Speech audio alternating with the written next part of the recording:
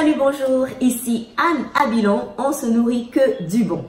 Alors cette vidéo, c'est une vidéo pour mettre euh, à jour ma, mon aventure de gestion de poids parce que depuis le début de l'année 2019, depuis janvier 2019, j'ai décidé de me prendre en main de perdre quelques kilos parce que je me suis rendu compte qu'avec ma taille, je suis, j'étais à 90 kilos, donc 200 livres avec euh, donc presque 91 kilos même parce que c'est 200 livres, c'est 90,7 kilos. Donc on peut dire 91 kilos. Donc euh, je m'étais rendu compte en janvier que j'étais dans cette catégorie-là et c'est toute une histoire. En tout cas, je vais revenir sur ça après. Et donc, je voudrais faire cette mise à jour parce que quelques semaines après, quand j'avais perdu, j'ai perdu assez rapidement au début, j'avais fait donc une vidéo qui est ma vidéo la plus populaire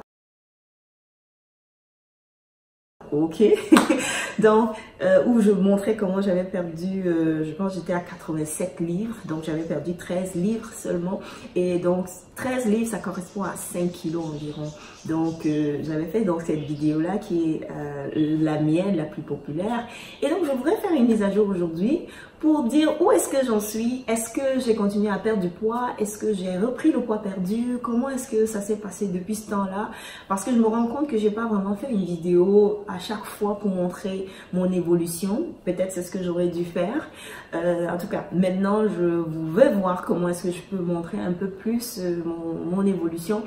Donc, euh, c'est cette mise à jour. Nous sommes rendus en septembre 2019, donc ça fait 9 mois ce qui s'est passé depuis ce temps-là. Bon, quand on me voit maintenant, seulement à partir de cette vidéo, on peut comprendre qu'au moins j'ai maintenu ou j'ai perdu, ok? Donc, j'ai pas repris.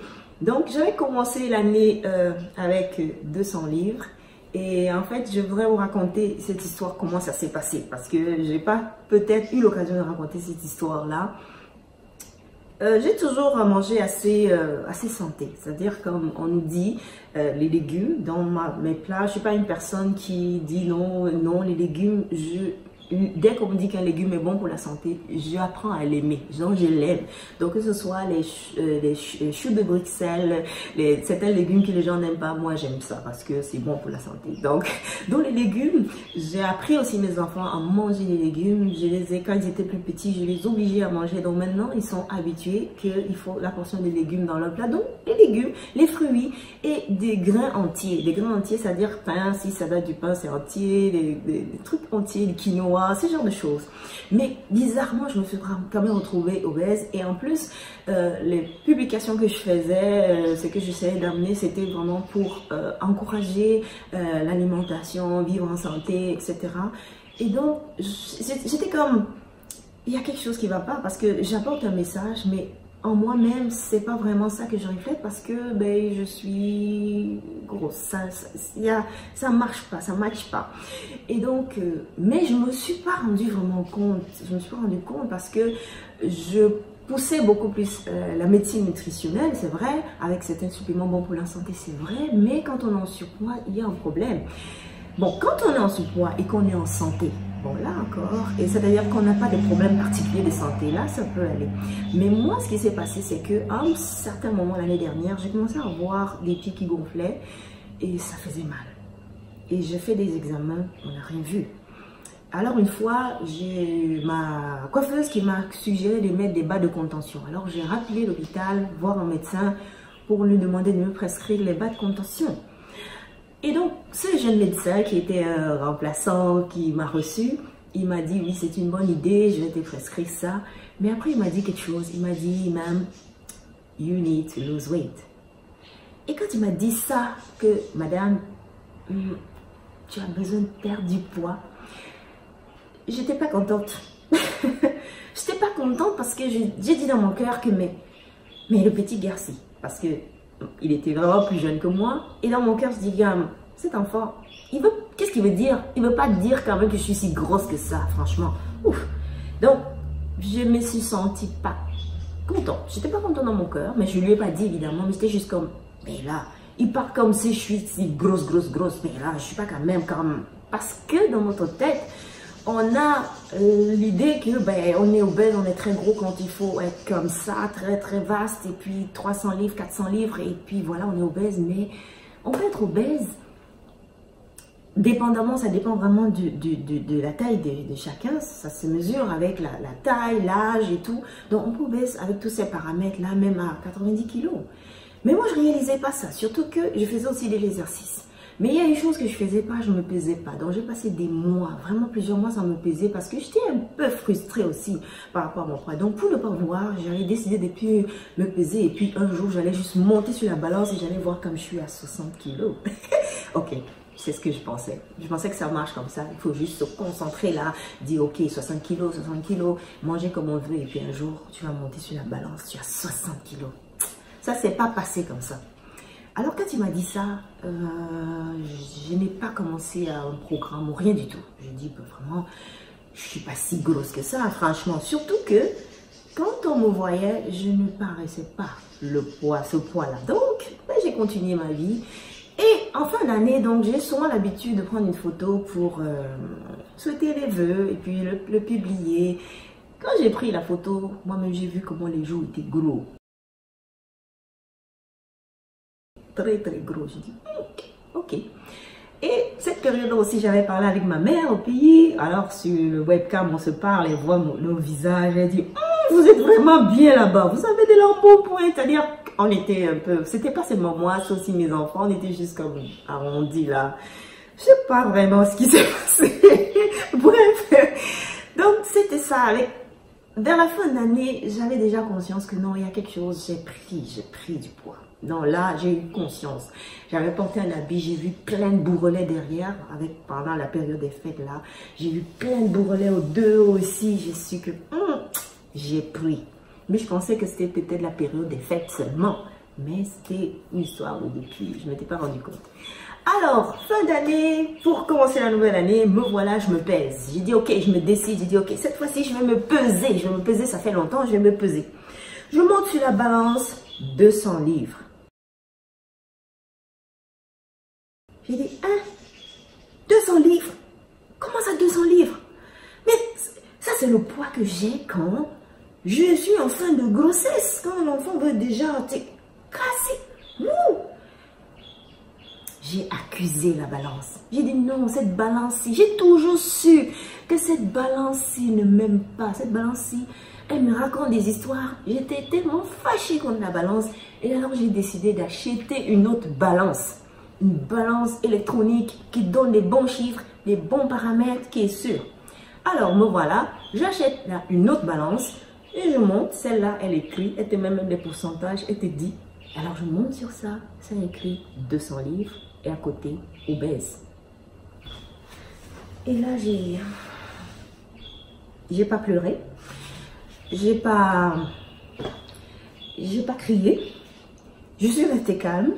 Et puis j'ai dit, ok, ça va. J'ai compris, ça va. D'accord. On va travailler sur ça. donc, donc, parfois on accuse la balance, parfois euh, c'est une autre personne. Pourtant, il y avait déjà des petits signes, des petits indices. Déjà l'année passée, certaines photos, je voulais pas voir. Je n'aimais pas voir ces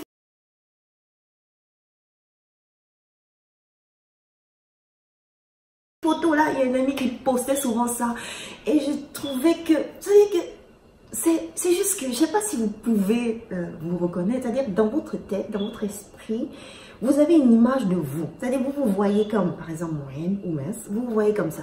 Mais dans la réalité, c'est autre chose.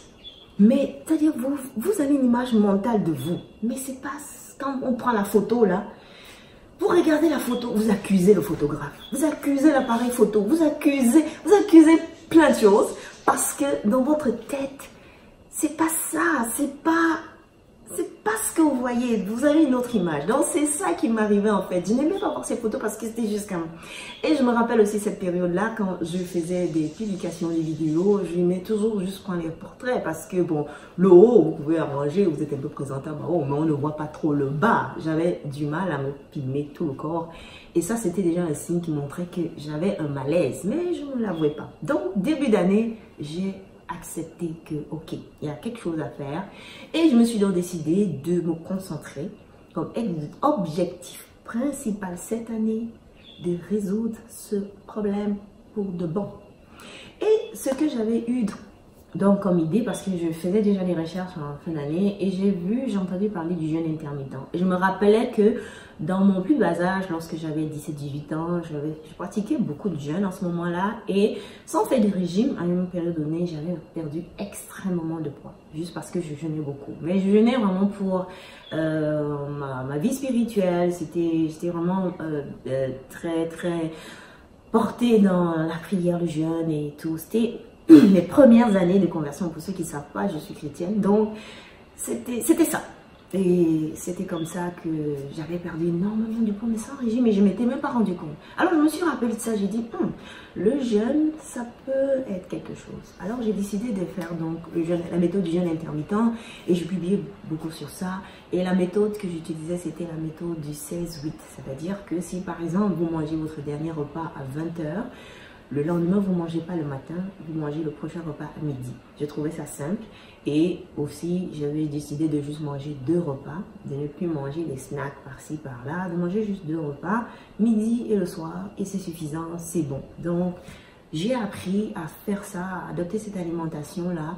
Et depuis le début de l'année 2019, j'ai maintenu ce rythme jusqu'aujourd'hui. Ça, c'est une grosse victoire.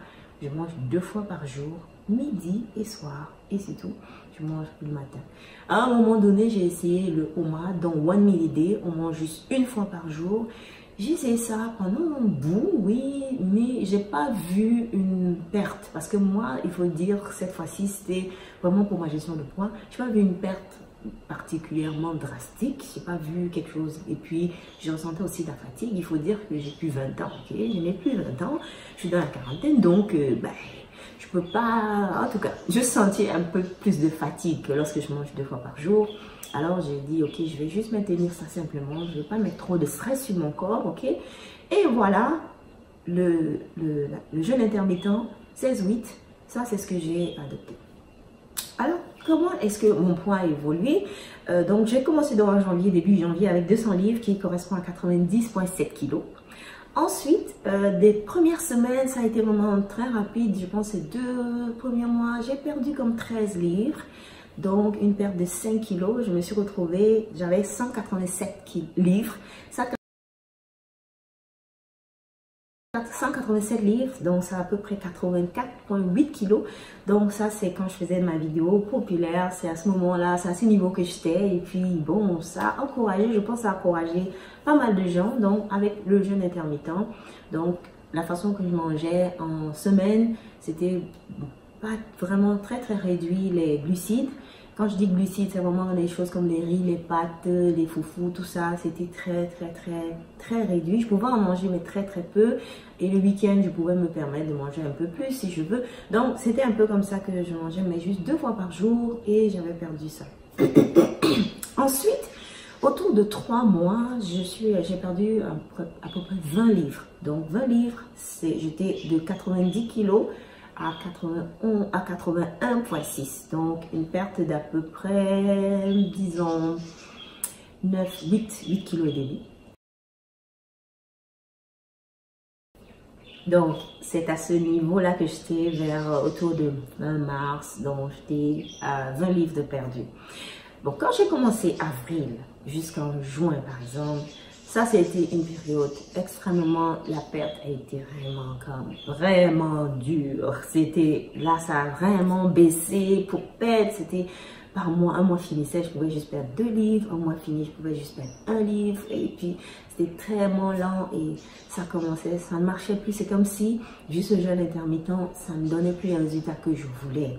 Mais bon, je continuais, je continuais. Mais entre-temps, je suivais beaucoup de vidéos, toujours depuis le début, je suivais des vidéos des gens qui associaient le jeûne intermittent avec la euh, avec l'alimentation cétogène, en anglais c'est keto. J'aime toujours dire keto parce que c'est plus, plus simple, c'est court.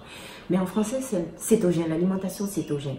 Donc j'entendais ça, mais l'idée juste de diète, de régime, juste ce mot-là m'énervait parce que je voulais pas rentrer dans une histoire de que régime. C'est juste le mot régime qui m'énervait parce que je disais hum, non, pas de régime. J'ai tellement fait des régimes par le passé. Régime, j'en veux plus. Je veux plus t'entendre, je veux plus te voir, je veux plus régime. Non, non, non, non, non. Mais après, je suivais aussi des vidéos des médecins qui ont toutes des chaînes, c'est-à-dire qui ont toutes des chaînes de programmes et qui parlaient avec des preuves scientifiques des bienfaits de l'alimentation euh, cétogène, de comment est-ce que quand on mange ça, les bienfaits que ça apporte à l'organisme et qui associait ça, c'est-à-dire la façon de manger céto, c'est un peu comme si tu singes, tu essayes d'imiter un peu le jeûne intermittent. Donc, ce qui fait que quand les gens combinent la façon de s'alimenter cétogène avec le jeûne intermittent, ils ont de très bons résultats, des résultats rapides, parce que la méthode cétogène elle-même, ça singe le jeûne intermittent. Ça met ton corps un peu dans un état de graisse, un peu comme si tu jeûnais en quelque sorte. J'ai dit, oh, et j'ai appris vraiment beaucoup de choses. Euh, cette méthode-là, cette façon de manger était, a été mise en place depuis longtemps et ça aidait à soigner certaines maladies comme le diabète, ça aidait à soigner les gens qui avaient l'épilepsie. Donc, ça a des bienfaits pour la santé. Bon, mais c'est vrai, il y a certaines, c'est quelque chose qui est populaire et qui a aussi quelques controverses sur le net. Certaines personnes disent que non, ça ne sert à rien. D'autres personnes disent que ok, pour ceux qui sont malades. Mais il y a aussi plein de monde, des milliers de gens qui ont de très bons résultats en mangeant de cette façon-là. Et la façon de manger euh, cétogène, c'est simple, c'est que tu manges un peu plus de gras, tu manges ta portion de gras doit être un peu plus élevée en pourcentage, tu manges modérément des protéines, viande, poisson, tout ça, de façon modérée, et très peu de carbs, de glucides. Donc, on ne supprime pas les glucides, mais c'est peu, et ce sont des glucides vraiment sélectionnés. Donc, j'ai dit, ok, ben ça fait du sens, mais ok, je vais tester. Donc, en juillet, en juillet, j'étais à 174 livres. Donc, quand même, de 200 livres à 174 livres, c'est une perte d'à peu près 26 livres. Donc, en juillet, j'avais déjà perdu depuis le début de l'année 26 livres. c'est à peu près 11 kilos. Donc, je me retrouvais à 78,9 kilos. C'est à ce moment-là que j'ai dit, ok, je vais tester cette histoire de keto, je vais juste tester. Je commence par 5 jours, donc de lundi à, vendredi, je vois ce que ça fait. Mais je m'engage à rien, je ne me dis pas que je vais faire ça toute ma vie parce que je vois. Et donc cette semaine-là, ce que j'ai noté, c'est que j'étais vraiment, je me sentais bien. Je me sentais vraiment bien et j'étais stop. J'étais vraiment coincée dans ces 174 livres-là. Et juste en 5 jours, je me suis retrouvée à 171 livres. Donc en juste 4, 5 jours, j'avais perdu 4 livres. Donc alors que j'étais bloquée depuis. Donc, je me suis dit, hmm, peut-être que c'est bon. Bon, j'ai continué à faire cette méthode, mais seulement le week-end, c'était la fête, la fiesta. C'est-à-dire le week-end, là, tu dis, ok, keto, tu te mets d'abord dans un coin, je vais manger tout ce que je veux. Je mange mes frites de plantain. S'il y a du foufou, pas le foufou. Habituellement, je ne mange pas le foufou le week-end, mais le week-end, je vais manger comme une fête. C'est comme la fête, ok? Il y a du riz, il y a des frites de plantain avec une bonne ribs, là, au poulet. Ok, c'est ça que je vais manger. Je mange un dessert. Je faisais souvent ça. Au début, là, quand je faisais keto en semaine, mais week-end, je fais la fiesta ça marchait encore, mais à un moment, un moment donné, ça a bloqué. Madame, c'est pas comme ça que ça se fonctionne. Et une fois de plus, j'ai suivi encore les gens, les médecins qui disent non, quand on fait keto, il faut le faire sérieusement. Fais-le sérieusement pendant un bon bout de temps, évite d'étricher. Ça peut arriver peut-être, mais évite d'étricher. Ne fais pas genre le week-end, tu fais une grosse fête, tu, tu annules tous les efforts de la semaine ça ne marche pas trop comme ça. Et puis quand j'entendais ce genre de personnes qui disaient ça, je disais, ah franchement, vous fatiguez, ok? Ah, Laissez-moi d'abord faire ma chose. Mais parce que j'avais un objectif, parce que avec ma taille d'un mètre 63, mon poids santé, ça se situe entre 49 et 66 kilos. 49 66 kilos. Ben là, je me retrouve encore, je suis j'étais encore à, à 78 kilos et je voulais continuer à perdre pour être au moins à 70, 65. Et là, j'ai dit, mais si ça bouge plus, comment est-ce que je vais y arriver? Alors j'ai dit, ok, je vais essayer de suivre ce conseil. Et maintenant, je vais faire céto, la méthode cétogène, l'alimentation cétogène, un peu plus sérieusement.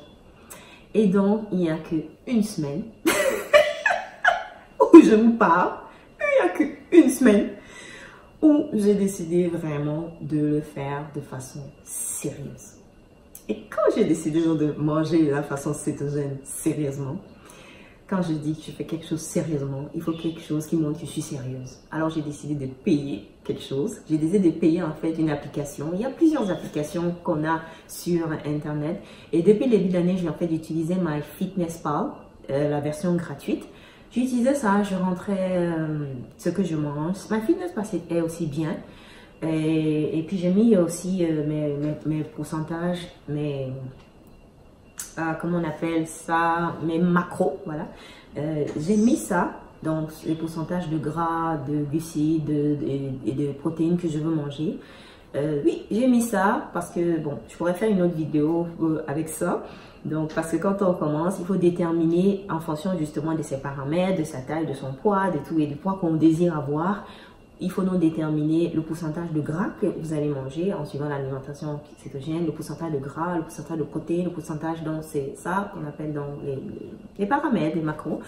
Et donc, j'ai mis ça dans FitMedPal et je pouvais rentrer mes, mes aliments, mais la mesure n'est pas très précise. J'ai vraiment vu la différence cette semaine en utilisant l'application Carb Manager j'avais déjà entendu parler de ça, évidemment, parce que je suis vraiment beaucoup de, vidéos, des gens qui font ça, qui font ça de façon avec succès.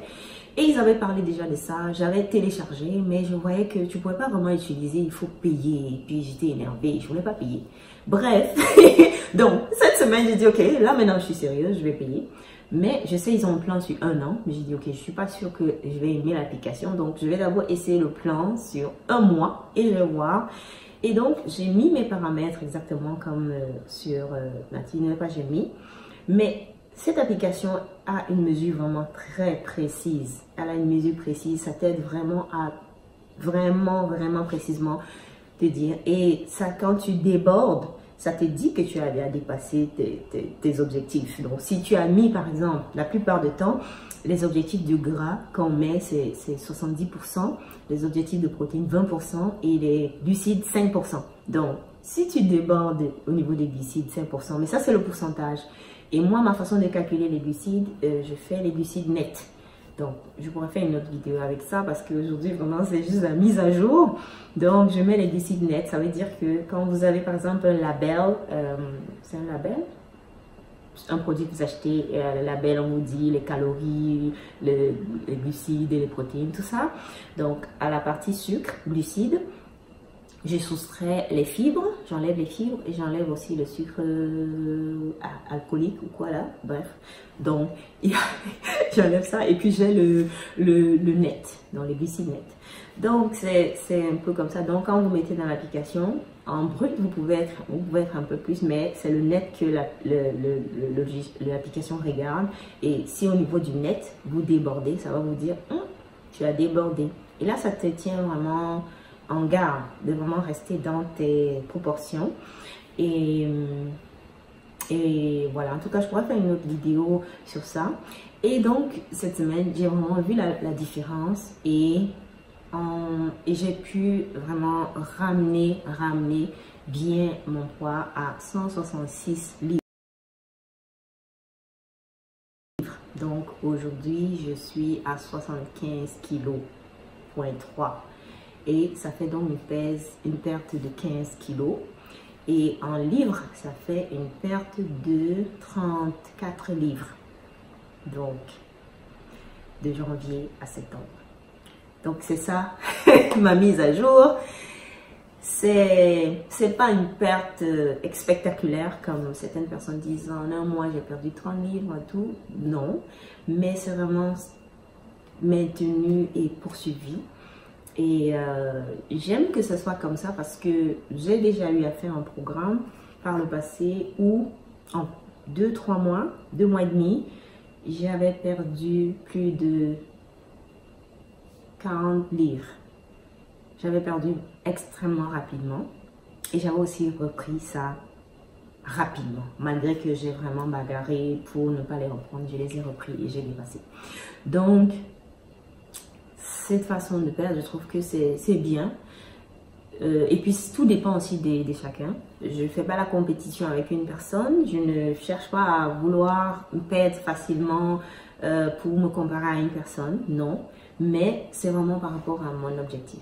Et aujourd'hui, je fais cette vidéo avec cette robe-ci Parce que cette robe-ci, je l'ai payée il y a deux ans, je pense deux ans ou trois, je pense c'est plus deux, à l'occasion de notre anniversaire de mariage. Et j'aime souvent à cette période-là acheter une nouvelle robe pour célébrer. Et je l'avais achetée, je la voulais toute simple, toute euh, petite. Et, et, je la portais bien à ce moment-là. Et après, un an après, je ne pouvais plus la mettre. L'année passée, je ne pouvais plus la mettre. Et cette année, je souhaitais vraiment la mettre en cette période d'été. Et donc, quand l'anniversaire de mariage est venu, je ne l'ai pas essayé parce que je me disais dans ma tête que ça n'allait pas entrer. Mais cette semaine, je me suis juste dit, ok, j'ai eu juste un jour envie de la mettre. Je pense que c'était hier, j'ai dit, ok, je vais essayer. Et j'ai pu fermer la fermeture derrière parce que c'est ça, ça ne se ferme pas derrière. Et j'étais vraiment contente. Donc, le fait que je fasse dans cette mise à jour aujourd'hui, en mettant dans cette robe, pour moi, ça a beaucoup de sens. C'est symbolique. C'est dit, ok, j'ai quand même atteint cet objectif-là de mettre cette robe-là en été. Et, donc, voilà, ma perte, elle a été pas spectaculaire, pas très drastique, rapide, mais j'ai quand même déjà perdu 34 livres et donc 15, autour de 15 kilos. Et donc, euh, voilà. Et maintenant, pour le reste de l'année, où est-ce que je vais continuer? Parce que je n'ai pas encore atteint mon poids santé. Je vous ai dit, mon poids santé, quand je calcule avec mon âge, ma taille et tout ça, mon poids santé, c'est entre 49 kilos et, bon, ça, j'ai juste calculé en kilos, je passe en livres, 49 et 66 kilos. Je suis encore à 75 kilos.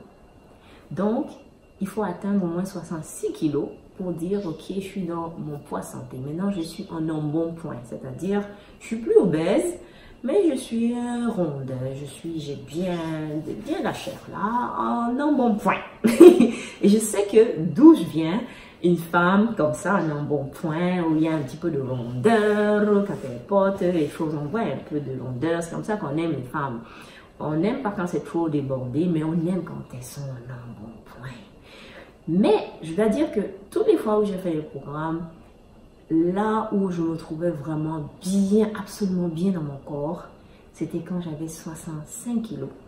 Et je sais que entre 60 et 65 kilos, c'est pas trop grand, il n'y a pas trop gros écart. Donc, être dans cette marge de 60-65 kilos, je vais vraiment bien.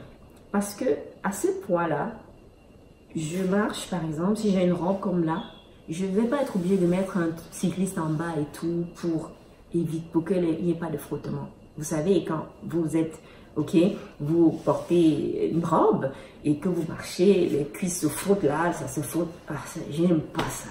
J'aime juste pas ça. Donc, quand j'étais trop trop grosse là, je portais plus de pantalons parce que la robe, ça va se frotter, tu marches, ça se frotte, tu sais. Donc, je me rappelle, je parlais en semaine avec une collègue et elle a dit, ben il faut aussi dire que les os, ça pèse. J'ai dit, ok, bon, je n'ai pas, mais après, quand tu y penses, il y a les gens, ils disent que les os pèsent. D'accord, les os, ça pèse, mais les os, si on enlève toute la chair qui est là, les os, ça va juste être comme ça. Les os, ça fait pas de frottement, ok?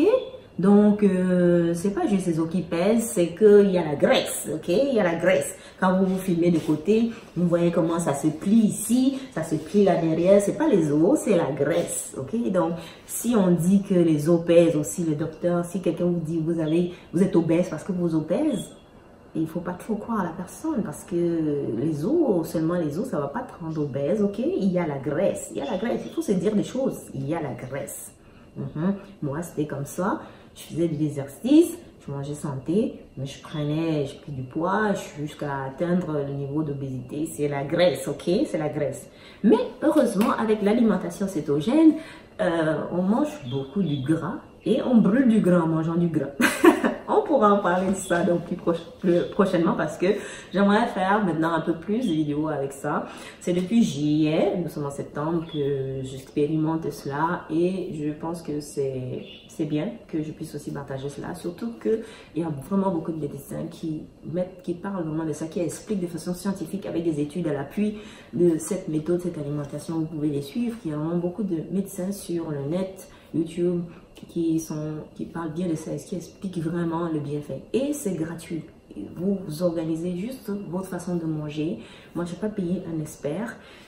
La seule chose que j'ai payé, comme je vous ai dit là, c'est cette application qui m'aide précisément à calculer mes, macros, à voir où j'en suis et pour moi, après ça, bon, peut-être je vais prendre une période un peu plus longue parce que j'aimerais vraiment expérimenter ça pour tirer vraiment une bonne conclusion. Pour tirer une bonne conclusion. Et donc, je pense que j'ai déjà tiré beaucoup de long en large sur cette vidéo. Je vais la terminer avec donc mon prochain objectif jusqu'à la fin d'année. C'est quoi? Pour me motiver. Pour me motiver, j'ai un mariage en fin d'année. J'ai ma bonne, bonne, bonne, bonne, bien-aimée nièce qui se marie euh, cette fin d'année en décembre. Elle se marie et je me suis dit, ok, voilà une belle motivation pour m'aider vraiment à être concentrée, à être focus et atteindre donc ce poids santé qui est au moins 66 kilos. Au moins. Donc, si j'atteins au moins 66 kilos là, là c'est bon. Je descends un peu plus, ça c'est parfait. Ok? Alors, de maintenant 75 à 66, c'est comme... C'est combien de kilos là? C'est 9 kilos à perdre. 9 kilos. C'est faisable, non? Je pense que c'est faisable. Donc, de maintenant à décembre, donc, on va se mettre à la limite de... Ah, on se met à la limite de... Peut-être 15 euh, décembre. Oui, 15 décembre. 15 décembre, on va voir où on en est. Donc, je me propose donc de perdre donc ces 9 kilos là au moins pour que à ce mariage là, j'ai mon poids santé. Ça, c'est mon nouveau défi et c'est une belle motivation, je pense, pour que je reste focus sur mon objectif. Et pour ce faire, je vais donc continuer avec le jeûne intermittent et la, façon de manger cétogène. Donc, keto et jeûne intermittent jusqu'à ça. Donc, voilà pour... Euh, le reste de l'année. Et maintenant, je vais faire un peu plus, euh, plus souvent des vidéos pour montrer l'évolution, pour parler un peu plus de cette façon d'alimentation, céto, jeûne intermittent. Je me propose de faire ça un peu plus. Euh, régulièrement et donc pour que vous voyez l'évolution. Je vous remercie en tout cas pour l'encouragement d'être là et de me suivre. Cette vidéo aujourd'hui est un peu plus longue, je m'en excuse parce que ça faisait longtemps. C'est pour ça que ben, je, je, me propose de faire un peu plus, peut-être euh, chaque semaine ou aux deux semaines, je vais voir au moins sur deux semaines euh, une évolution, une mise à jour de comment j'évolue vers mon nouvel objectif de 60, on va mettre 65 kilos pour que ça soit simple, 65 kilos. Euh, je suis à, 75, on va mettre 65 d'ici le 15 décembre. Donc là c'est simple, on est à 5, 5, 5 et on va voir si j'atteins, c'est bon, ben, et puis ça va donner donc euh, un poids global pour l'année perdue. Donc, euh, en tout cas, à ce moment-là, je serai dans mon poids santé. Parce que c'est entre 49 et 66. Donc, si j'ai 65, c'est bien. Mais ce que j'aimerais vraiment le plus, c'est être 60. 60. Je veux pas quand même être limite, limite. Parce que 65, 66, c'est vraiment limite aussi de l'embonpoint. Donc, 60, c'est bon. 50 Non, je veux pas être maigrichon. Je veux pas être maigre. Non, j'ai déjà eu 50 kilos dans ma vingtaine. J'étais très mince. Je, je veux pas avoir 50 kilos. Non.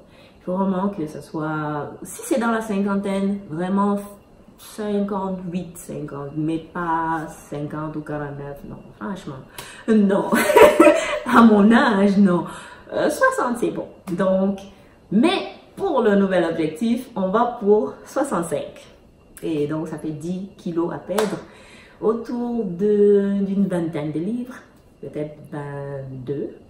Donc, on va aller comme ça et puis on va voir. Là, ce jour-là, je vais bien, bien, bien danser au mariage. Alors, si vous aimez de telles vidéos, euh, je vous demande de liker, de partager, de vous abonner à ma chaîne. Et euh, si vous avez des questions, savoir euh, comment comment ça se passe, cette méthode, cette gène ou euh, le jeûne intermittent, vous pouvez les poster en commentaire.